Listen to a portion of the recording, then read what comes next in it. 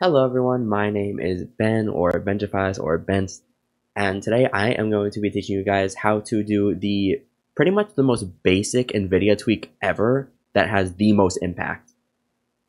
So first, all you want to do, get display driver uninstaller. I will leave a link to it in the description. Double click, run this, no, and then okay. No, okay, whatever, whatever. And then go to options. Personally, I turn off system restore point because, you know, it never actually messes up. But if you are worried that it will, then that is okay. You can turn that on.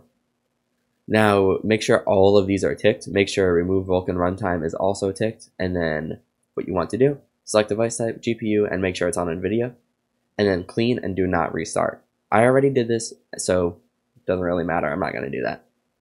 And then your screen will look all silly and weird.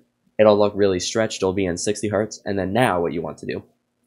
Open NVCleanstall, give it one second, and then manually select driver version. Make sure you pick latest, or if you're really, if you're really conscious about your frames and you really think it's better, you can do 472.12. Personally, I will always do latest. Next, press minimum, make sure none of these are ticked. Next, and then I'll give it a second to load.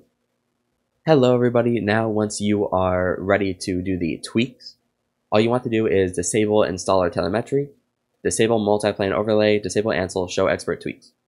Now from here, disable driver telemetry, disable HD audio device sleep timer, disable HDCP, and then down here, if you do play Fortnite or any easy anti-cheat game, all you want to do is just click this, click this, next.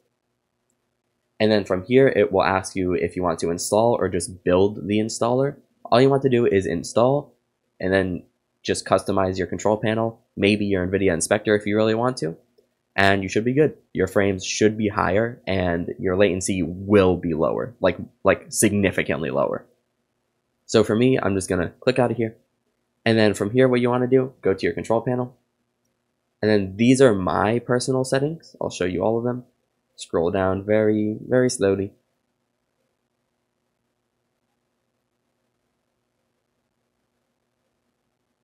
Yeah. And then for me, I set it to 10 gigabytes. I don't have much storage. so you should either set this to 100 or unlimited. And then make sure you press apply down here. It should be when you uh, change everything.